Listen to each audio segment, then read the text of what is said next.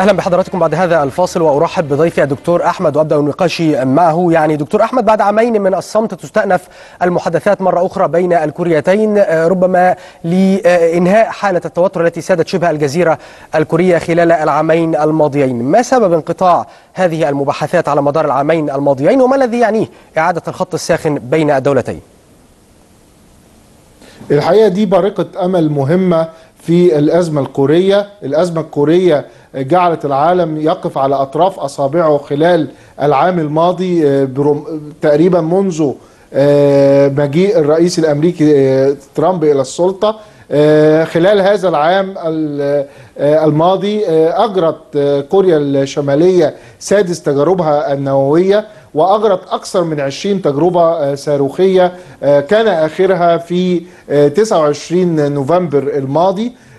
هذه التجربة كانت لصاروخ باليستي بعيد المدى.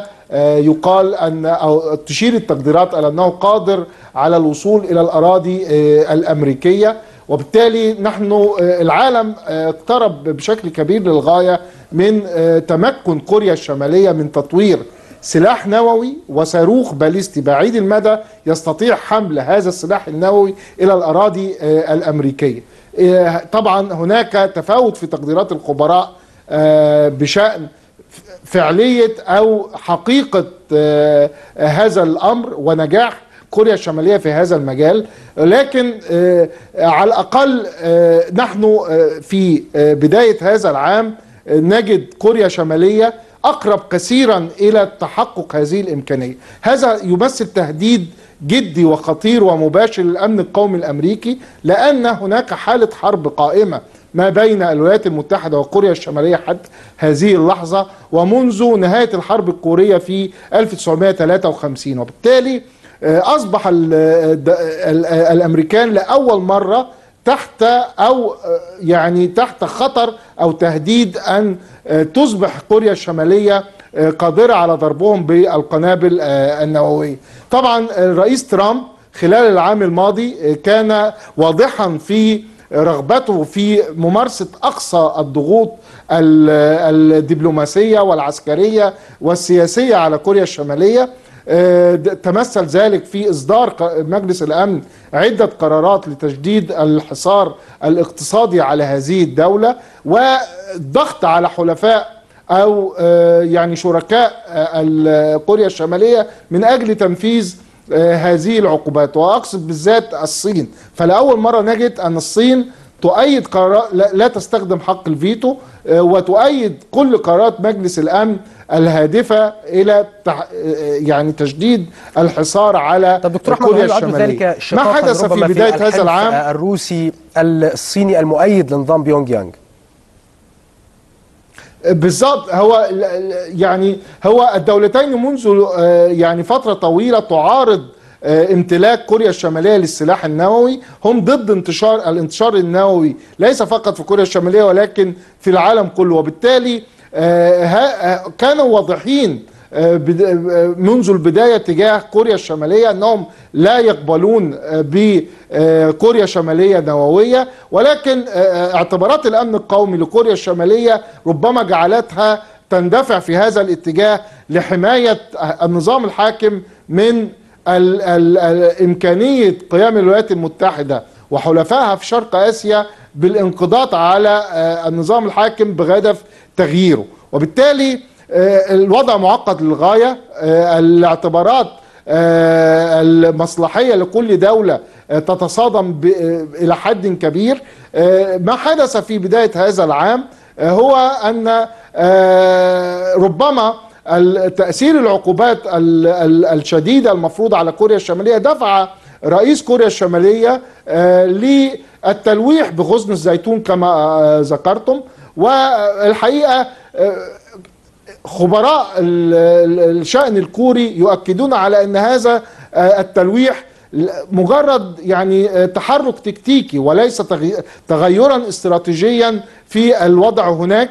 هم يشيرون إلى أن التوقعات بانهيار الاقتصاد في كوريا الشمالية بقدوم مارس القادم نتيجة طبعا العقوبات الاقتصادية المفروضه عليها وتقليل صادرات النفط آه، والمشتقات البترولية الموجهة إليها. وبالتالي هم ي- يحاولون البحث عن منفذ خلال هذه الفترة قبل الوصول إلى حالة الشلل الاقتصادي آه، الكامل.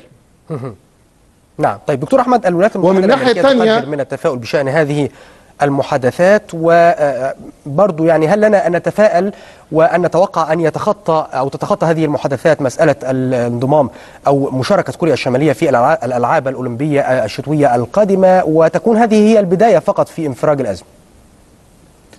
الحقيقة العدو الرئيسي لكوريا الشمالية ليست كوريا الجنوبية العدو الرئيسي لكوريا الشمالية هو الولايات المتحدة وبالتالي لا نستطيع توقع الانفراج في هذه الأزمة دون حدوث مفاوضات مباشرة ما بين آه، الأمريكيين والكوريين الشماليين ربما يعني آه، آه، تفلح الجولة القادمة في المفاوضات بين ال ال ال الكوريتين في تحقيق منافع يعني بسيطة في تخفيف التوتر بين الدولتين. على سبيل المثال يمكن أو بعض الخبراء يتوقعون أن تطالب كوريا الشمالية بإعادة افتتاح المجمع الصناعي في كايسونج وهذا المجمع كانت تعمل فيه الشركات الكورية الجنوبية آه، باستخدام العمالة في كوريا الشمالية. ولكن هذه الفكرة الحقيقة تلقى معارضة هذا من ضمن من في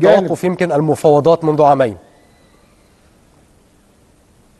نعم عندما تصاعد التوتر بين الج- الجانبين وتوقفت المفاوضات الرسمية في ديسمبر 2015 كانت الخطوة التالية هي تجميد العمل في هذا المجمع الصناعي في بداية عام 2016 عندما آه، قامت كوريا الشمالية بإجراء تجربتها النووية الرابعة. كانت هذه التجربة بمثابة يعني ال ال ال ال ال القشة التي قسمت ظهر البعير في مسألة التعاون الاقتصادي ما بين آه، الجانبين. ومنذ هذه الفترة وحتى الآن هذه المنطقة آه، مشلولة عن العمل.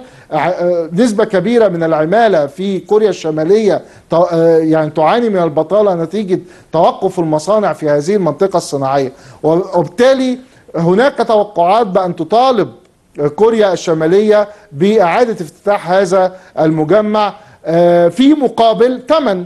كل شيء يعني ثمن يعني في المفاوضات مطلوب. هي آه، تراهن على أن كوريا الجنوبية ترغب في آه، إنجاح دورة الألعاب آه، الأولمبية الشتوية التي ستنظمها في الشهر القادم.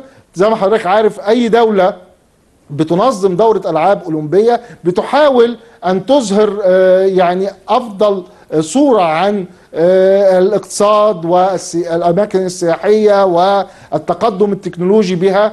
وبالتالي سوف يؤدي إجراء أي تجربة صاروخية أو نووية خلال فترة انعقاد هذه الدورة إلى تدمير ما تسعى كوريا الجنوبية إلى تحقيقه آه، من وراء آه، تنظيم هذه آه، الدورة. وبالتالي هناك منفعة حلة أو ملحة على صانع القرار في سول من أجل التوصل إلى اتفاق ما لعدم إفساد هذه الدورة. هنا تستغل كوريا الشمالية هذه الرغبة في آه، فرض شروطها أو محاولة ابتزاز كوريا الجنوبية بشكل أو بآخر لتحقيق بعض المنافع الاقتصادية لعل وعسى يعني تفلح في تحسين أوضاعها الاقتصادية شديدة السوء في الوقت يعني الحالي. كلام حضرتك دكتور أحمد يشير إلى أن هذه منفعة لفترة محددة.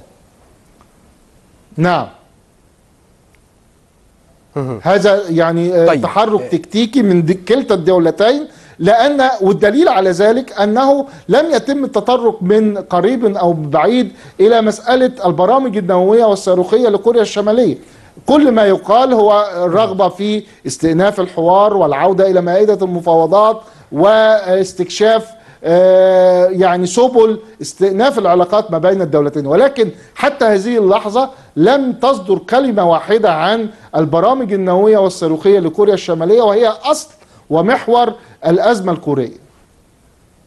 طيب لننحي النقاط الخلافية الرئيسية ما بين الدولتين إذا كانت امتلاك الشمالية لأسلحة نووية أو التعاون العسكري ما بين الجنوبية والولايات المتحدة الأمريكية. ونتحدث عن الوضع الإنساني. هناك اتفاق مبادئ تم توقيعه بين الدولتين في سبعينيات القرن الماضي ينص على لم شمل العائلات المتضررة من الحرب بين الدولتين. هل هذه النقطة ربما تكون مطروحة للنقاش خلال الفترة القادمة؟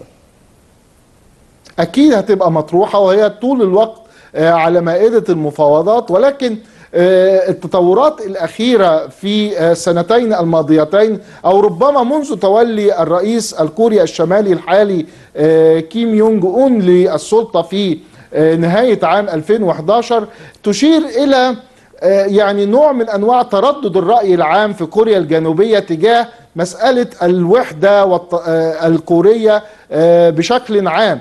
هم يعني أصبحوا يدركون الفرق الشاسع في المستوى الاقتصادي ما بين الكوريتين. لو حضرتك تعرف أن متوسط الدخل السنوي للفرد في كوريا الشمالية هو 1350 دولار في السنة وهو في حين أن المواطن في كوريا الجنوبية مستوى دخله أكثر ب 22 ضعف يعني فيما يقارب 40 ألف دولار وبالتالي هناك فرق كبير في الحياة الاقتصادية طبعا الاقتصاد الكوري هو رقم 12 أو 13 في العالم بينما الاقتصاد في كوريا الشمالية هو في المراتب الأخيرة أو ربما في ذيل قائمة ال 190 دولة التي يجري عليها طيب أو تتوافر دكتور أحمد وسريعا ما مدى الاهتمام الأممي بهذه الخطوة وهل يكون إلغاء بعض العقوبات مدخلا للتهدئة؟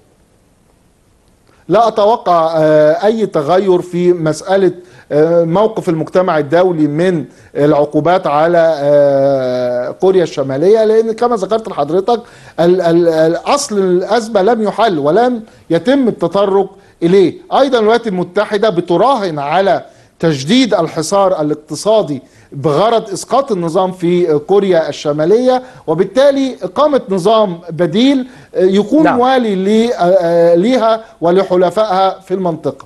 وبالتالي لا أتوقع على الإطلاق أن يحدث نعم عذرا للمقاطعه دكتور أحمد قنديل لضيق الوقت خبير الشؤون الآسيوية في مركز الأهرام للدراسات. شكرا جزيلا لك.